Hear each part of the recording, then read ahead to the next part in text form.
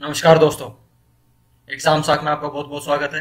आपके लिए नई वीडियो लेके आए जिसमें हम पढ़ेंगे स्ट्रक्चर एनालिसिस का एक बहुत ही इंपॉर्टेंट टॉपिक जो है डिटर्मिनेसी एंड इनडिटर्मिनेसी इस टॉपिक के बारे में अगर आपको बता दूँ दोस्तों तो ये टॉपिक किसी भी गवर्नमेंट पेपर एग्ज़ाम के जितने भी कॉम्पिटेटिव एग्ज़ाम है, उसके लिए बहुत ज़्यादा हेल्पफुल है। अगर हम गेट की बात कर ले, जो कि अभी आने वाला है गेट के एग्ज़ाम में कम से कम दो तीन मार्क्स के नियर अबाउट तीन मार्क्स चार मार्क्स के आसपास आसपास आपसे इस टॉपिक से क्वेश्चन पूछ लिए जाते हैं डिटर्मिनेसी और इंटरमिनेसी लास्ट ईयर 2018 में नहीं पूछा गया तो इस बार 2019 में इस टॉपिक से क्वेश्चन आने के चांसेस बहुत ज़्यादा बढ़ जाते हैं। 2017 में भी इससे तीन मार्क्स का पूछा गया था डिटर्मिनेसी और इनडिटर्मिनेसी टॉपिक से। तो इसलिए किसी भी कॉम्पिटिशन एग्ज़ाम के लिए बहुत ज़्यादा हेल्पफुल है। साथ के साथ जो भाई अभी बीटेक कर रहे हैं, उनके लिए भी यह वीडियो बहुत ज़्यादा हेल्पफुल है, जिसमें हम देखेंगे डिटर्मिनेसी और इनडिटर्मिनेसी के बारे में। आप समझेंगे कि डिटर्मिनेसी किसी भी स्ट्रक्चर की डिग्री ऑफ़ इनडिटर्मिनेसी निकालना कितना आसान है। इस वीडियो के माध्यम से आप देखेंगे। मैं ट्राई करूँगा, कोशिश करूँगा कि आप जितनी आसानी से इस टॉपिक को समझ पाए, उतना ज़्यादा अच्छा है। क्योंकि हम जो पढ़ते हैं, हम इसको थ्योरेटिकल वे से देखते हैं। थ्योरेटिकल वे से देखने के पॉइंट ऑफ़ व्यू से हम छोटी मोटी गलतियाँ कर देते हैं। अगर हम इसको प्रैक्टिकल वे से समझे प्रैक्टिकली समझेंगे तो इसमें कोई भी गलती करने की गुंजाइश हमसे नहीं बचेगी। तो मैं कोशिश करूँगा आप प्रैक्टिकल वे में जिस वे तक मैं समझाने की कोशिश करूँगा, आप उस टॉपिक को समझ पाए। तो दोस्तों, बढ़ते हैं अपने इस टॉपिक की ओर, जिसमें हम देखेंगे डिटर्मिनेसी और इनडिटर्मिनेसी तो अगर आपसे पूछ लिया जाए तो डिटर्मिनेसी अगर हम किसी भी स्ट्रक्चर की डिटर्मिनेसी मान लो हम एक स्ट्रक्चर बना लेते हैं, अगर स्ट्रक्चर की बात की जाए तो तो दोस्तों ये स्ट्रक्चर आपको दिया है और पूछ लिया जाए क्या ये स्ट्रक्चर डिटर्मिनेंट है या इनडिटर्मिनेंट है।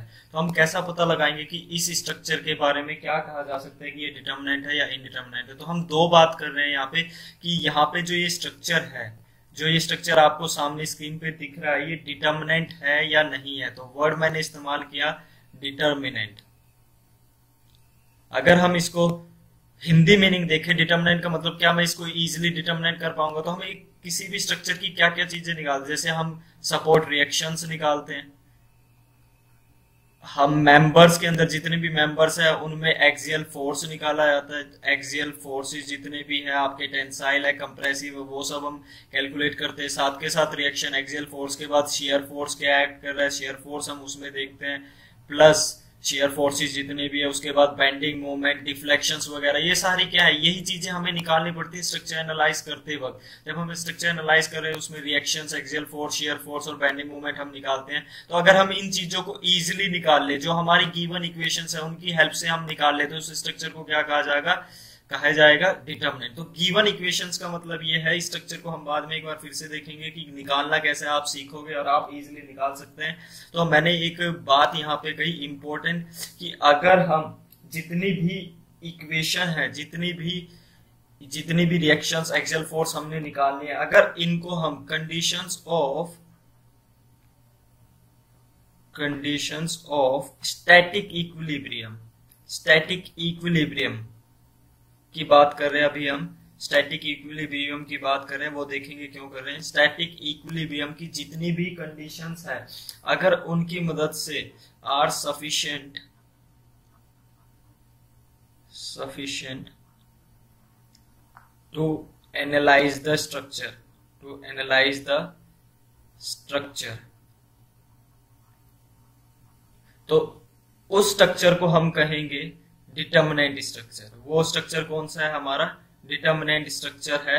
अगर हम easily condition of static equilibrium की हेल्प से, जो कि यहाँ पे आपको दिखाया गया है कि ये स्टैटिक इक्विलिब्रियम जो मैंने यहाँ लिखा है वर्ड अगर इसकी हेल्प से, अगर हम इस पूरे स्ट्रक्चर को इजिली डिटर्मिनेट कर ले तो ये स्टैटिकली डिटर्मिनेंट स्ट्रक्चर है। मैंने वर्ड यूज़ किया स्टैटिकली डिटर्मिनेंट स्ट्रक्चर ऐसा इसलिए किया जाता है ताकि आप इसको इजिली कैलकुलेट कर ले एनालाइज कर ले तो ये डिटर्मिनेंट है, निर्धारित किया जा सकता है। तो देखते हैं दोस्तों कैसे हम इसको इजिली कैलकुलेट और निर्धारित कर सकते हैं। इजिली कैलकुलेट करने के लिए आपको इसको दोबारा अच्छे से समझना पड़ेगा।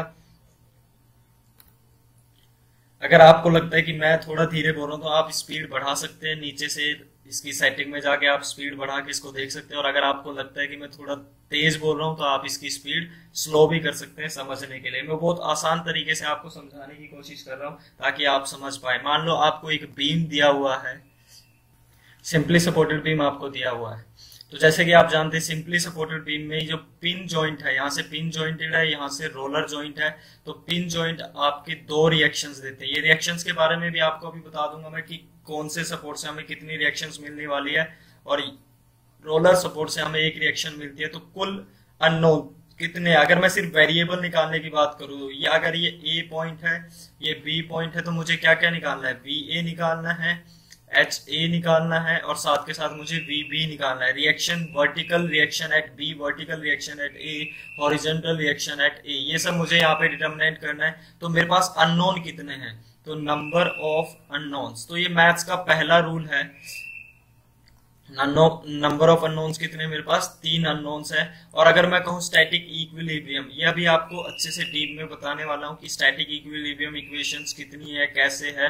तो स्टैटिक इक्विलिब्रियम इक्वेशंस यहाँ पे कितनी है? तीन।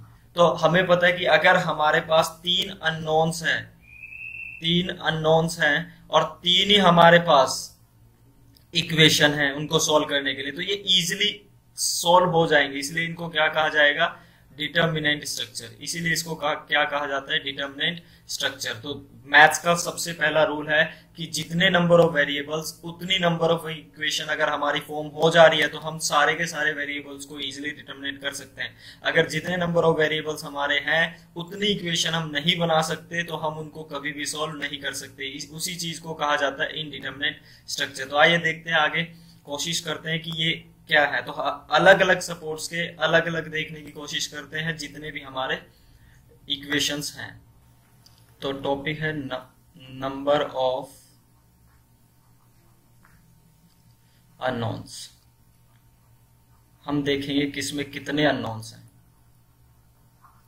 अगर बात की जाए फिक्स सपोर्ट सबसे पहला कौन सा हो गया आपका? फिक्स्ड सपोर्ट फिक्स सपोर्ट कुछ इस प्रकार होता है, ये आपका बीम होगा या आपका कॉलम की बात कर लिया जाए तो कुछ इस प्रकार आपका कॉलम होगा और कॉलम के नीचे ये आपका क्या हो गया? फिक्स सपोर्ट यानी कि हमने इसको यहाँ से फिक्स कर दिया। अगर फिक्स की बात कर दी जाए, बिल्कुल फिक्स कर दिया तो दोस्तों आपसे मैं एक चीज़ पूछूँगा, अगर ये बीम आपके सामने है, इस बीम को, इस वाले बीम को अगर मैं इधर को खींचना शुरू करूँ तो क्या ये अपनी जगह से निकल पाएगा? नहीं निकल पाएगा। इसका मतलब ये बीम यहाँ पे एक रिएक्शन दे रहा है। इस चीज़ को कि ये अपने आप को खींच रहा है। अगर मैं इसको बात करूँ तो इसको कहेंगे हम हॉरिजॉन्टल रिएक्शन तो ये हॉरिजॉन्टल रिएक्शन यहाँ से, क्योंकि ये इसको अलाउ नहीं कर रहा है कि ये वाला बीम जो जिसकी मैं बात कर रहा हूँ, ये बीम यहाँ से बाहर निकल जाए। इसी तरह अगर मैं इस बीम की बात करूँ ये बीम अगर मैं ऊपर को उठाने की कोशिश करूँ, इस बीम को अगर ऊपर को पुल करने की कोशिश करूँ, क्या ये इस जगह से, इस जगह से बाहर निकल जाएगा, नहीं निकल पाएगा? तो उसी तरह यहाँ पे भी एक रिएक्शन दे रहा है ये बीम जिसको मैं क्या कहूँगा वर्टिकल रिएक्शन और उसी तरह अगर दोस्तों मैं आपसे पूछ लिया जाऊँ तो क्या ये रोटेट कर पा रहा है? अगर मैं इसको रोटेट कराने की कोशिश करूँ, इस बीम को रोटेट कराने की कोशिश करूँ तो क्या ये रोटेट कर पाएगा? तो नहीं, यहाँ पे एक रिएक्शन आ जाएगी, जिसको क्या कहा जाएगा? मूवमेंट रिएक्शन तो यहाँ पे आपको तीन वेरिएबल मिल गई कौन कौन से variable vertical reaction horizontal reaction और साथ में साथ क्या मिल गया आपको? मूवमेंट रिएक्शन तो मैं यहाँ से कह सकता हूँ तो फिक्स सपोर्ट के पास नंबर ऑफ़ अननोन्स कितने हैं? फिक्स सपोर्ट के नंबर ऑफ़ अननोन्स कितने हुए आपके? तीन। दूसरी बात कर ली जाए, दूसरा, अब हम देखते हैं हिंड जॉइंट या फिर पिन जॉइंट। पिन यानी कि कील जैसा जितने भी जॉइंट होते हैं, कील से कर दिया हमने। काबले की मदद से बॉल्ट की मदद से कर दिए तो वो सब क्या होते हैं हमारे हिंज जॉइंट और पिन जॉइंट। किस, कैसा दिखाई देगा आपको हिंज जॉइंट और पिन जॉइंट? अगर आप बीम की बात करो तो बीम में ऐसे भी हो सकता है, ये पिन जॉइंट, यहाँ पे ये पिन शो कर दिया हमने, ये पिन शो कर दिया, या फिर एक बीम में कुछ इस प्रकार भी हो सकता है ये। और अगर एक कॉलम की बात कर ली जाए तो कॉलम में भी कुछ इस प्रकार हो गए तो ये आपका पिन जॉइंट कॉलम हो गया, ये बीम हो गया, ये तीनों केसेस में एक जैसे अगर हम यहाँ पे भी रिएक्शन की बात करें तो फिर से वही, अगर इस बीम को मैं इधर को खींचने की कोशिश करता हूँ तो क्या ये अपनी जगह से निकल पाएगा? इस जगह से ये नहीं निकल पाएगा। तो नहीं निकलेगा, ये क्या कर रहा है? यहाँ पे एक रिएक्शन दे दी इसने हॉरिजॉन्टल रिएक्शन उसी तरह अगर इस बीम को मैं ऊपर उठाने की कोशिश करूँ, ऊपर उठाने की कोशिश करूँ तो क्या ये उठ पाएगा? नहीं उठ पाएगा तो यहाँ पे क्या आ गई आपकी एक वर्टिकल रिएक्शन बट अगर इसको मैं मूवमेंट देने की कोशिश करता हूँ तो ये इजिली आप अपनी फिंगर को देख सकते हो, आप फिंगर को बाहर को खींचने की कोशिश करो तो आपकी फिंगर बाहर को नहीं खींचेगी, आप अपनी फिंगर को ऊपर उठाने की कोशिश करो तो आपकी उंगली फिंगर ऊपर को नहीं उठेगी, लेकिन अगर आप अपनी फिंगर को मूव करने की कोशिश करोगे तो वो इजिली मूव हो रही है, उसी चीज़ को कहा जाता है मूवमेंट तो यहाँ पे एम की वैल्यू क्या हुई? तो अगर आपसे पूछ लिया जाए तो एम की वैल्यू क्या हो गई मेरी यहाँ पे? एम की वैल्यू हो गई ज़ीरो तो यहाँ पे सिर्फ़ कौन कौन सी मूवमेंट मिली हमको? एक तो एच मिली और एक क्या मिली वी तो यहाँ से मैं कह सकता हूँ नंबर ऑफ़ अननोन्स कितने हो गए इस केस में? दो। यहाँ पे नंबर ऑफ़ अननोन्स कितने हो गए आपके? दो। अब बात करते हैं रोलर सपोर्ट की। रोलर सपोर्ट रोलर सपोर्ट कुछ इस प्रकार होता है। अगर बीम की बात की जाए तो यहाँ पे रोलर ऐसे शो करके ऐसे भी रोलर बन जाता है। आपका आप ऐसे भी शो करके दिखा सकते हैं वो। ये भी रोलर सपोर्ट ही है। तो ये कुछ इस प्रकार का अगर रोलर सपोर्ट आपको दिया हुआ हो तो रोलर सपोर्ट के केस में कितने रिएक्शन लगते हैं? तो उसी तरह अगर मैं देखूँ रोलर सपोर्ट का मतलब ये है कि ये जो बीम है, ऊपर से कुछ इस प्रकार है। इसके ऊपर रोल कर सकता है, ये इजिली रोल कर सकता है यहाँ पे। तो यहाँ से अगर मैं बात करूँ तो इसको इधर को खींचू तो ये बीम इधर को भी खींच जाएगा और अगर इधर को पुश किया जाए तो ये बीम इधर को भी पुश हो जाएगा। तो यहाँ से कोई भी रिएक्शन जो एच मूवमेंट है, वो आपको नहीं मिलने वाली। तो एच क्या हो जाएगी? यहाँ पे ज़ीरो लेकिन अगर मैं इसको, अगर मैं नीचे पुश करूँ इसको, नीचे अगर मैंने यहाँ से पुश किया तो क्या ये नीचे जा पाएगा, नहीं जा पाएगा? तो यहाँ से एक रिएक्शन मिलेगी आपको। कौन सी रिएक्शन मिलेगी? वर्टिकल रिएक्शन तो यहाँ पे वर्टिकल रिएक्शन तो है, लेकिन हॉरिजॉन्टल रिएक्शन क्या है? ज़ीरो और साथ के साथ अगर मैं इसको घुमाने की कोशिश करूँ तो ये इजिली मूव हो जाएगा, ये भी। ऊपर नीचे इजिली मूव हो सकता है। तो यहाँ पे मूवमेंट भी क्या मिली आपको? ज़ीरो तो यहाँ से आप कह सकते हो कि सिर्फ़ कौन सी रिएक्शन मिली आपको? वी रिएक्शन तो in case of roller support आपके नंबर ऑफ़ अननोन्स कितने हुए? एक अननोन तो number of unknowns roller support के केस में क्या हो गया? एक. नेक्स्ट अगर हम बात कर ले फोर्थ की, एक और प्रकार का सपोर्ट है, वो भी रोलर टाइप है। आपका रोलर कुछ इस प्रकार हो गया, उसको रिजिड रोलर सपोर्ट कहते हैं। Rigid roller support rigid roller support में आपको देखने को मिलेगा कि ये वाला सपोर्ट यहाँ से रिज्ड है। रिज मतलब पूरा इस वाली प्लेट के साथ, जो ये प्लेट आपको दे रखी है, इसके साथ काफ़ी शक्ति के साथ अटैच किया गया है, पूरा रिज्ड है, ये यहाँ से पिन की तरह या इस पे पिन जो पिन जॉइंटेड है, उसकी तरह है। तो यहाँ से क्या मिल सकता है आपको? अगर मैं इस बीम को इधर को रोल करने की कोशिश करूँ तो ये रोल तो हो सकता है, इसका मतलब इसने हॉरिजॉन्टल रिएक्शन तो नहीं दी। एच क्या है? इसमें ज़ीरो है। लेकिन अगर इसको नीचे करने की कोशिश करूँ, अगर नीचे दबा देता हूँ तो नीचे से एक रिएक्शन दे देगा, जिसको क्या कहेंगे? वर्टिकल रिएक्शन साथ के साथ। अगर मैं इसको रोटेट करने की कोशिश करूँ तो ये रोटेट करने से भी मना कर देगा, क्योंकि यहाँ से ये क्या है? रिजिट तो यहाँ से एक रिएक्शन मिलेगी आपको एम तो यहाँ पे कुल मिला के कितनी रिएक्शन मिली आपको? एक वर्टिकल रिएक्शन मिल गई, एक एम मिल गया तो यहाँ पे आपके अनोन्स हो गए दो। तो यहाँ से समझ में आ गया आपका समझ में आ गया होगा आपको कि कितनी अननोन्स होती है किस केस में। तो साथ के साथ अब सीख लेते हैं, अगर अननोन्स आपके पास ये है।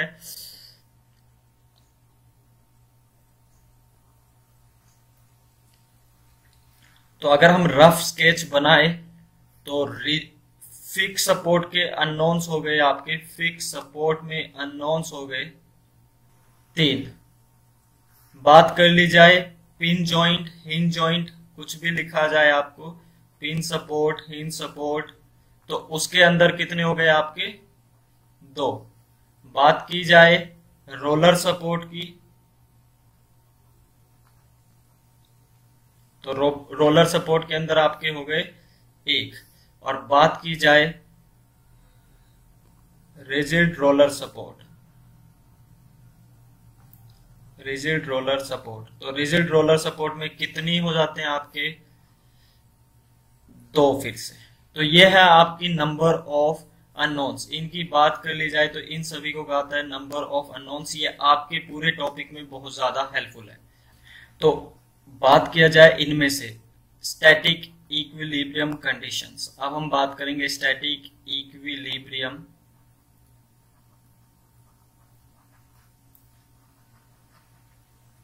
conditions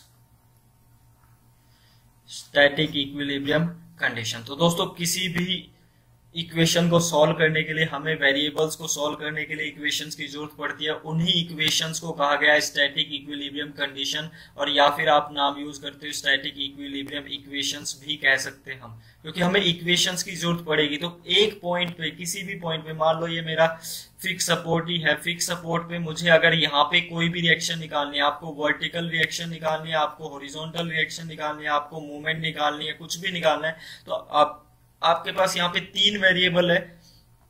तीनों की तीनों की वैल्यू हमें अभी भी निकालनी है। तो तीनों वेरिएबल निकालने के लिए मुझे कम से कम कितनी इक्वेशन चाहिए? तीन इक्वेशन तो चेक करते हैं कौन कौन सी इक्वेशन अगर मैं टू डी जोमेट्री की बात करूँ टू डी जोमेट्री में हम कुछ इस प्रकार देखते हैं। ये आपका टू डी ये एक्स एक्सिस है, ये वाई एक्सिस है।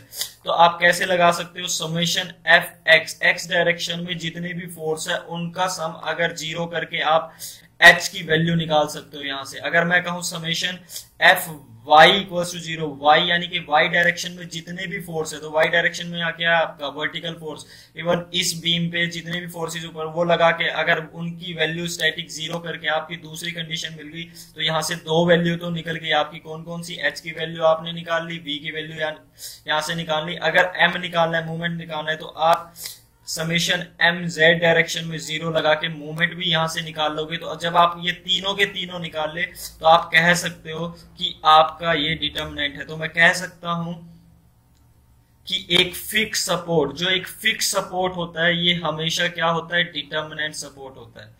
एक fix support always determinant support होता है। तो इसीलिए इस पूरे वीडियो में मेरा हमेशा ज़ोर रहेगा कि आप इस चीज़ को समझ ले कि जो एक फिक्स सपोर्ट है मेरा, ये फिक्स सपोर्ट डिटर्मिनेंट सपोर्ट रहने वाला है। और जितने भी मेरे बाकी सपोर्ट होंगे, चाहे वो रोलर सपोर्ट हो पिन सपोर्ट हो रिज रोलर हो, उन सबको मैं क्या बनाने की कोशिश करूँगा? रिजिड सपोर्ट बनाने की कोशिश करूँगा और जब उसको मैं रिजिड या फिक्स सपोर्ट बनाने की कोशिश करूँगा तो उनको मैं रिस्ट्रेन करूँगा रिस्ट्रेन करूँगा रिस्ट्रेन करने के लिए यानी कि मुझे एक्स्ट्रा इक्वेशंस उनको देनी पड़ेगी एक्स्ट्रा वैल्यू मुझे देनी पड़ेगी ताकि वो क्या बन जाए फिक्स बन जाए। तो उसी चीज़ को देखते हुए हम किसी भी बड़े से बड़े स्ट्रक्चर को इजिली सॉल्व कर सकते हैं। बिल्कुल आसानी से जो आपके लिए बिल्कुल आसान पड़ने वाला है। तो आप यहाँ से क्या पता लगा सकते हो कि टू के केस में आपके जब भी हम टू की बात करते हैं तो आपके पास तीन इक्विलिब्रियम इक्वेशंस हैं। इक्विलिब्रियम इक्वेशंस तीन इक्विलिब्रियम इक्वेशंस आपके टू के केस में, अगर थ्री केस देख लिया जाए थ्री केस देखने के लिए आपको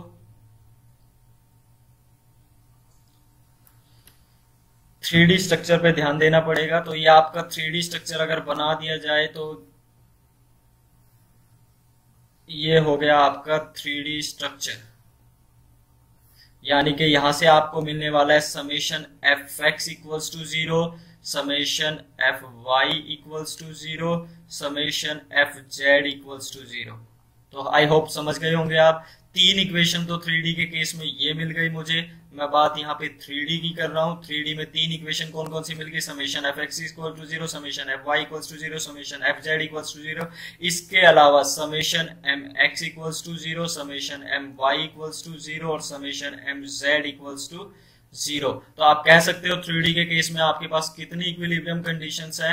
आपके पास सिक्स इक्विलिब्रियम कंडीशंस है थ्री के केस में।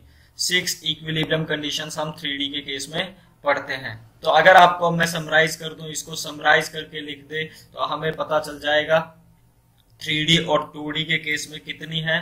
तो for two D For 2D, we have three equations or three equations और तीनों की तीनों इक्विलिब्रियम इक्वेशन कौन सी है? Summation F X equals to zero summation F Y equals to zero summation M Z equals to zero अगर मैं बात करता हूँ थ्री डी की तो थ्री डी के लिए हो गई हमारी six equilibrium equations summation F X equals to zero summation F Y equals to zero summation F Z equals to zero साथ के साथ summation M X equals to zero summation M Y equals to zero summation M Z equals to zero तो ये आपकी छह equilibrium equation three के case में, तीन equilibrium equations two D case में। आई होप आप समझ गए होंगे इतना तो। अगर आपको ये वीडियो यहाँ तक समझ में ना आए तो इसको दोबारा से रिपीट ज़रूर कर ले, क्योंकि आने वाले टॉपिक इन्हीं पे आधारित हैं। बड़े से बड़ी, बड़े से बड़ा फ्रेम बड़े से बड़ा स्ट्रक्चर आप इजिली एनालाइज कर पाएँगे अगर आप इन चीज़ों को समझ गए तो। तो दोस्तों, अब हम बढ़ते हैं अपने टॉपिक की और हम बात कर रहे थे यहाँ पे स्टैटिक डिटर्मिनेसी की और काइनेमेट जो डिटर्मिनेसी आपकी दो प्रकार के है। दोस्तों नहीं बताया, एक हो गई आपकी स्टैटिक डिटर्मिनेसी या इनडिटर्मिनेसी और दूसरी हो गई आपकी काइनेमेटिक इनडिटर्मिनेसी तो इनडिटर्मिनेसी में हम दो प्रकार की देख रहे हैं, एक स्टैटिक और एक हो गया काइनेमेटिक्स तो स्पेलिंग माइंड कर लेना, दोस्तों ठीक कर लेना, अगर गलत हो जाती है। एक होगी आपकी स्टैटिक दूसरी होगी काइनेमेटिक अगर बात की जाए स्टैटिक इनडिटर्मिनेसी स्ट्रक्चर डिटर्मिनेंट है या इनडिटर्मिनेंट डिटर्मिनेंट तो हम सीख चुके हैं अभी। अब हम बात कर रहे हैं इनडिटर्मिनेसी की। तो स्टैटिक इनडिटर्मिनेसी क्या है? हमारी दो प्रकार की है। या तो वो स्ट्रक्चर एक्सटर्नली या वो स्ट्रक्चर क्या होगा? एक्सटर्नली स्टैटिक डिटर्मिनेंट होगा या इनडिटर्मिनेंट तो हमने तो इनडिटर्मिनेंट निकालनी है या जिसे हम कहे डिग्री ऑफ़ डिटर्मिनेसी निकालनी है।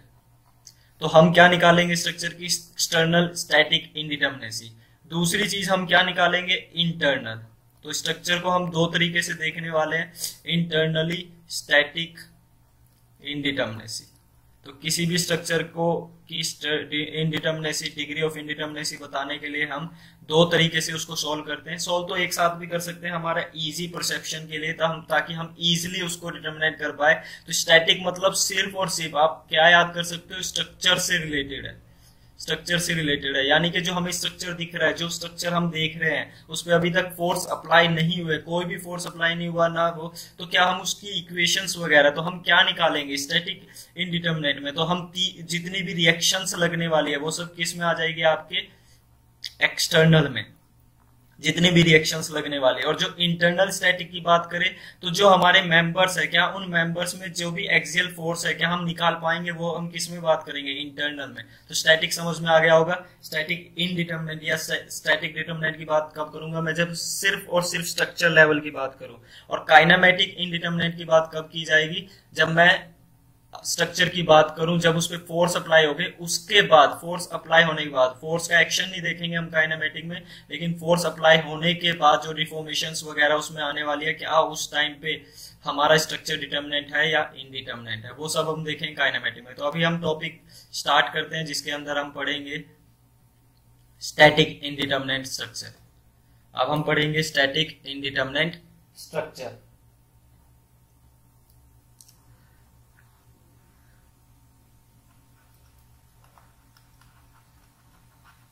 external indeterminacy किसकी बात कर रहे हैं हम? Structure indeterminacy D S E equals to ये आप स्ट्रक्चर स्टैटिक की बात कर रहे हैं एक्सटर्नल में स्टैटिक की बात करें तो ये हो गया डिटर्मिनेसी के लिए S for static E for external जब हम एक्सटर्नली स्टैटिक डिटर्मिनेसी निकालेंगे तो वो क्या है? वो हम देखेंगे एक्सटर्नल एक्सटर्नल इनडिटर्मिनेसी में। तो अगर इसकी बात की जाए, अगर आपको डेफिनेशन बता दी जाए इस एक्सटर्नल की तो एक स्ट्रक्चर कब आपका एक्सटर्नली इनडिटर्मिनेंट होगा? तो किसी भी स्ट्रक्चर की बात करें, मान लो एक स्ट्रक्चर हम बना लेते हैं। स्ट्रक्चर बनाने के लिए मान लो आपका ये एक स्ट्रक्चर है। ये स्ट्रक्चर अगर आपको दिया हुआ है, इसकी एक्सटर्नल इनडिटर्मिनेसी की हम बात करें तो किसी भी स्ट्रक्चर की एक्सटर्नल इनडिटर्मिनेसी का मतलब ये हो गया कि हम सिर्फ़ उस स्ट्रक्चर को कहाँ पे देख रहे हैं? उसकी रिएक्शंस पर। कि यहाँ पे इस पे रिएक्शंस कौन कौन सी लग रही है? तो अगर ये फिक्स सपोर्ट है, मैंने बोला फिक्स सपोर्ट में कितनी रिएक्शंस लगती है आपकी? नॉर्मली तीन। तो नॉर्मली जब हमारी फिक्स सपोर्ट में, जब मैं टू की बात कर रहा हूँ थ्री में यही ज़्यादा हो जाती है थ्री में सिक्स रिएक्शंस लगती है तो टोटल कितनी रिएक्शंस लगी आपकी? Simply supported sorry fix beam में के अंदर तीन इधर लगी और तीन ही इधर लगी। तो इसलिए इसकी एक्सटर्नल इनडिटर्मिनेसी का मतलब है, जब मैं इस स्ट्रक्चर को सिर्फ़ और सिर्फ़ सपोर्ट लेवल पे देखूँगा, ना कि ऊपर का ये स्ट्रक्चर कंसीडर करूँगा। तो सपोर्ट लेवल पे देखने के लिए जब मैं एक्सटर्नली बात करूँ तो इस पूरे स्ट्रक्चर को क्या कंसिडर कर लूँगा? वन यूनिट ये अपने आप में वन यूनिट है। मुझे अंदर मेंबर लेवल पे जाना ही नहीं। मैं सिर्फ़ किस लेवल पे देखूँगा? एक्सटर्नल पे। तो आपको मैंने अभी बताया टू में इक्विलिब्रियम कंडीशन कितनी है? थ्री तो अगर आपको इजीली बताना है कि ये स्ट्रक्चर डिटर्मिनेंट है एक्सटर्नली डिटर्मिनेंट है या इनडिटर्मिनेंट है तो आप कैसे बताओगे? तो आप इसकी रिएक्शंस गिन लो कितनी है। तो तीन तो आपकी यहाँ पे हो गई, एक ये हो गई, एक ये हो गई, एक ये हो गई, तीन ये हो गई, तीन ही यहाँ पे होगी। तो टोटल कितनी रिएक्शंस होगी आपकी? टोटल रिएक्शंस हो गई सिक्स सिक्स माइनस थ्री, क्योंकि तीन इक्वेशन ही आप इसमें से बना सकते हो तो आप तीन तीन इक्वेशन अभी भी आपकी बच गई, जिनको आप सोल्व नहीं कर सकते। तो इसकी डिग्री ऑफ़ इनडिटर्मिनेसी कितनी हो गई? तीन। और वो इनडिटर्मिनेसी किसकी बात कर रहा हूँ मैं? एक्सटर्नली अभी। टोटल की बात नहीं हो रही है यहाँ पे। एक्सटर्नली की बात कर रहा हूँ तो डिग्री ऑफ़ इनडिटर्मिनेसी कितनी होगी इस स्ट्रक्चर की? थ्री सिर्फ़ मैंने एक्सटर्नली चेक किया तो आप इसको दूसरे तरीके से कैसे देख सकते हो कि आपके पास तीन इक्वेशन तो है तीन इक्वेशन आपके पास है सोल्व करने के लिए। तो उन तीन इक्वेशन की मदद से आप कौन सा, ये वाला सपोर्ट तो इजीली सोल्व कर सकते हो, क्योंकि तीन इक्वेशन लेकिन ये सपोर्ट अभी भी रह जाएगा आपका, और इस सपोर्ट पे कितनी रिएक्शन है? सारी की सारी है तो जितनी भी इसकी रिएक्शन है, वही इसकी थ्री आप डायरेक्टली ऐसे गिन के भी कर सकते हो। आपको नहीं समझ में आया? एक बार फिर से दूसरा स्ट्रक्चर लेके समझाते हैं, आपको इजिली जल्दी पता चल जाएगा। आप सभी को ऐसी फीलिंग आ रही होगी कि आप किसी लाइव क्लास में बैठे हुए भले ही आप मुझे नहीं देख पा रहे, आप एक लाइव क्लास की तरह पढ़ रहे हैं, फिर भी दोस्तों अगर आपको कोई प्रॉब्लम रह जाती है तो आप हमारे व्हाट्सएप ग्रुप से जुड़ सकते हैं। आप मुझे मेरे इस नंबर पे मैसेज कर सकते हो। व्हाट्सएप नंबर है nine zero three four three six one zero double three आप हमारे इस व्हाट्सएप ग्रुप से मिल सकते हो अपनी क्वेरी उसमें डाल सकते हो, हम सभी उसमें डिस्कस कर लेंगे कि आपकी क्वेरी क्या है तो nine zero three four three six one zero double three ये आपके लिए व्हाट्सएप ग्रुप नंबर है। इस, आप इस पे मैसेज करें, आपको व्हाट्सएप ग्रुप में जोड़ दिया जाएगा। तो दोस्तों, आगे बढ़ते हैं। हमने अभी बात की है। अगर स्ट्रक्चर अगर हम बात कर ले, मान लो एक बीम है, ये आपका बीम है।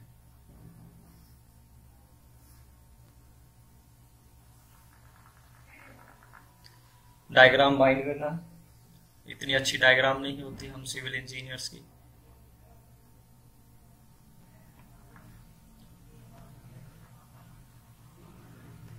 ये तीन सपोर्ट्स आपके बीम के ऊपर लगाए हुए पहले हमने ट्रस देख लिया, अब फिर से हम क्या देख रहे हैं? बीम चेक कर लेते हैं। देखो, इसके ऊपर कितनी रिएक्शन है? गिन लेते हैं। एक फिक्स सपोर्ट है, एक, दो, तीन।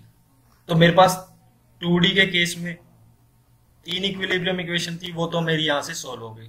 तो एक्स्ट्रा कितनी बच गई मेरे पास? एक इक्वेशन यहाँ बच गई रोलर के केस में एक इक्वेशन रोलर के केस में यहाँ बच गई, एक इक्वेशन यहाँ बच गई, इन तीनों को मैं नहीं सॉल्व कर सकता। तो इसकी डीओ आई कितनी हो गई मेरी? थ्री इसकी डीओ आई हो गई थ्री तो आप यहाँ से समझ गए होंगे कि एक्सटर्नल स्टैटिक इनडिटर्मिनेसी कैसे निकालना है कि जिनको मैं सॉल्व कर सकता हूँ, मैं इनको सॉल्व कर सकता हूँ, तीन को तीन की मदद से। इनको अलग कर दिया, इनको गिनना ही नहीं। उसके बाद जितनी भी बच गई मेरी, वो किसमें आ गई मेरी डीओ आई थ्री में। नेक्स्ट आपकी बात की जाए, अगर बात करते हैं, अब देखो, एक और ये आपका, मान लो मैंने अभी चेकआउट कर लिया, हमने ये दूसरी प्रॉब्लम अगर आपको तीसरी देखते हैं, कुछ इस प्रकार दी होती है। आपको दिया हुआ है, ये सिंपली सपोर्टेड ट्रस्ट है तो आप बता सकते हैं इसकी डिग्री ऑफ़ इनडिटर्मिनेसी कितनी होगी। तो डिग्री ऑफ़ इनडिटर्मिनेसी के लिए हमने अभी देखे अननोन्स तो अगर मैं अननोन्स की बात करूँ तो आपके इस सपोर्ट पे पिन जॉइंट पे कितने सपोर्ट्स हैं ये? दो अननोन्स हो गए। तो दो यहाँ से हो गए, एक यहाँ से हो गया। आपके पास कंडीशन कितनी है इक्विलिब्रियम की? इक्विलिब्रियम की टोड़ी के केस में। अभी भी हम किसकी बात कर रहे हैं? टू के केस में। टोड़ी के केस में इक्विलिब्रियम कंडीशन कितनी होती है? थ्री और तीन ही मेरे यहाँ पे इक्वेशन है। कौन कौन सी हो गई? वर्टिकल इक्वेशन ये हॉरिजॉन्टल रिएक्शन और ये वर्टिकल दूसरी इक्वेशन तो ये सारी वर्टिकल इक्वेशन तीनों की तीनों में किसकी हेल्प से सोल्व कर सकता हूँ? तीनों की हेल्प से। तो इसकी डिग्री ऑफ़ इनडिटर्मिनेसी मैंने कितनी बता दी? ज़ीरो अभी फिर भी अगर आपको प्रॉब्लम आ रही है और आप चाहते हो कि सर इसका फॉर्मूला बता दिया जाए तो आप फॉर्मूला क्या लिख लो? D equals to D S E equals to तो D S E equals to number of unknowns number of unknown जितने भी मेरे अननोन्स हैं उसमें से मैं क्या माइनस कर दूँगा? जितनी भी मेरी इक्विलिब्रियम इक्वेशंस है number of equilibrium equations equilibrium equations जैसे ही मैंने माइनस करी डी एस ई में से वो मुझे क्या दे देंगे? वो मुझे दे देंगे D S E degree of static indeterminacy external indeterminacy तो आप समझ गए होंगे एक्सटर्नल इनडिटर्मिनेसी कैसे निकाली जाती है। तो यहाँ से समझ में आ गया। और साथ के साथ मान लो आपको एक और सपोर्ट यहाँ मैं दे दूँ। ये देखो, यहाँ पे अगर एक सपोर्ट और लगा दिया जाए रोलर ही लगा दिया जाए तो आप बता सकते हो अब इसकी डीओआई कितनी हो जाएगी? तो आप बता सकते हो इसकी डीओआई में एक एक्स्ट्रा और जुड़ जाएगा तो इस एक्स्ट्रा जुड़ने से अब इस स्ट्रक्चर की डीओआई कितनी बन जाएगी? वन डिग्री यानी कि अभी भी इसके पास एक वेरिएबल ऐसा बच गया जिसको मैं सॉल्व नहीं कर सकता। तो इनडिटर्मिनेसी का सीधा सीधा मतलब यही होता है कि हम इसको अभी डिटर्मिनेट नहीं कर सकते, निर्धारित नहीं कर सकते। तो आई होप आपको ये कॉन्सेप्ट तो समझ में आ गया होगा। अगर हम आगे बढ़े, एक बार और देख लेते हैं कि तो ये स्ट्रक्चर आपको दिया हुआ है। इस स्ट्रक्चर की डिग्री ऑफ़ इनडिटर्मिनेसी निकालनी है। तो आप डिग्री ऑफ़ स्टैटिक इनडिटर्मिनेसी कैसे निकालोगे इसकी? तो साथ के साथ आपको पता होगा यहाँ पे कितनी रिएक्शंस लगेगी। एक, दो, तीन। तो ये तीन तो मैं सॉल्व कर सकता हूँ इजिली इसके अलावा कितनी बच गई मेरे पास? तो ये पिन ज्वाइंट है तो दो तो यहाँ बच गई। एक, दो, ये रोलर सपोर्ट है तो एक यहाँ पे ये हो गई आपकी तीन। ये आपका रिजिड जॉइंट है। यहाँ पे ऐसे जो शो कर रखा है, ये आपको शो किया ये रिजिड जॉइंट करने के लिए तो रिजिड की हमने कितनी देखी थी? दो। तो दो यहाँ पे हो गई आपकी तो चार, पाँच। तो आप इसकी सीधा सीधा बता सकते हो डिग्री ऑफ़ इनडिटर्मिनेसी कितनी हो गई? पाँच। नहीं जी, हमें ऐसे समझ में नहीं आई। फॉर्मूले के हिसाब से बताओ तो फॉर्मूले के हिसाब से करने के लिए आप क्या करोगे? इन सभी को गिन लो। तीन, दो, पाँच और एक छह और तीन सॉरी तीन तीन तो यहाँ पे हो गई आपकी, दो पाँच पाँच पाँच और एक छह छह छह और दो, आठ। आठ तो ये टोटल आपकी हो ही गई और तीन आपकी इक्विलिब्रियम कंडीशन है टू के केस में तो टोटल आंसर कितना आ गया आपका? पाँच। आई होप आपको ये भी समझ में आ गया होगा। ये हमने फोर्थ देख लिया तो यहाँ तक हमने सीख लिया और आप सभी को पता चल गया होगा डिग्री ऑफ़ स्टैटिक इक्विलिब्रियम तो डिग्री ऑफ़ स्टैटिक इक्विलिब्रियम निकालने के लिए क्या फॉर्मूला हो गया आपका कि T S equals to R minus R minus या कहो आर माइनस एस या कुछ भी कह सकते हो नंबर ऑफ़ अननोन्स जितने भी वेरिएबल है, वो कितने एक्सेस में है? किससे? नंबर ऑफ़ इक्विलिब्रियम इक्वेशन से। अगर आपको ये वीडियो पसंद आया तो लाइक ज़रूर करें और अपने वैल्यूएबल फीडबैक कमेंट के माध्यम से हमें ज़रूर दे, क्योंकि दोस्तों, मुझे पता है आप सभी के मैसेज बहुत आ रहे थे, सर आप टेक्निकल वीडियो नहीं बना रहे, आपका इतना प्यार और हमारे चैनल के प्रति इतना लगाव देखकर, क्योंकि आप सभी को मेरे इस पढ़ाने के तरीके से मज़ा आ रहा है तो उसका तहे दिल से शुक्रिया। और ज़्यादा वीडियो को अप्रिशिएट करे ताकि मैं और ज़्यादा से ज़्यादा वीडियो डाल पाऊँ। वैसे दोस्तों, मेरे पास बहुत ज़्यादा बिज़ी शेड्यूल है। उस बिज़ी शेड्यूल से मुझे कुछ वक्त निकालना पड़ता है आपकी इस वीडियो बनाने के लिए। पर आपका प्यार देख कर मैं कुछ ना कुछ वक्त ज़रूर निकालूँगा। अगर आपको ये वीडियो सच में पसंद आई है और आपको लगता है कि ये वीडियो आपके वैल्यूएबल है तो इसको लाइक ज़रूर करें। और अपने दोस्तों को भी शेयर करें जो अभी बीटेक कर रहे हैं। आने वाले टाइम पे और वीडियोस के साथ फिर से हाजिर होऊँगा। अभी हमने इसमें degree of static equilibrium externally सीखी। नेक्स्ट वीडियो में आपको मैं इंटरनली सिखाऊँगा। तब तक के लिए धन्यवाद।